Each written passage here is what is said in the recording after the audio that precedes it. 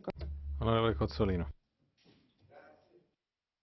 Ecco, sì, grazie. Si tratta di una risoluzione assolutamente positiva che riconosce, a partire dalla straordinaria eccezionalità del caso italiano, sia gli sforzi che il governo sta compiendo che il bisogno di trovarci meglio preparati di fronte ai rischi di eventi straordinari. Sicuramente è un passo in avanti la proposta di modifica del regolamento del Fondo di solidarietà che accelera le procedure, snellisce e rende più immediata l'erogazione delle risorse rispetto anche alla decisione assunta. Un modo per avvicinarci ai bisogni dei cittadini.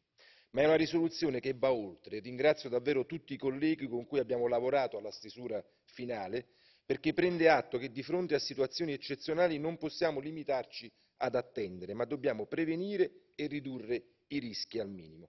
Per questo domani sarà importante votare e approvare i paragrafi 6 e 7 per chiedere non solo il massimo della flessibilità possibile, ma per ribadire l'urgenza dell'esclusione dal patto di stabilità e crescita degli investimenti realizzati attraverso i fondi strutturali per mettere in sicurezza i territori e le aree a più rischio. Non si tratta di una richiesta italiana.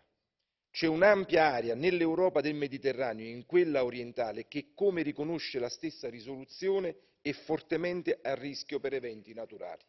È un'esigenza di tutta l'Europa consentire un piano strategico di messa in sicurezza, agevolando e derogando alle norme del patto di stabilità e crescita, lo dobbiamo a tutti i cittadini europei. Quindi davvero grazie per questa discussione. Anche io, grazie. Now we move, dear colleagues. to- Colleghi, passiamo alla procedura catch eye. Primo oratore. Onorevole Chinnici. I remind you, you have one minute. Le ricordo che ha un minuto. Grazie Presidente, signora Commissaria,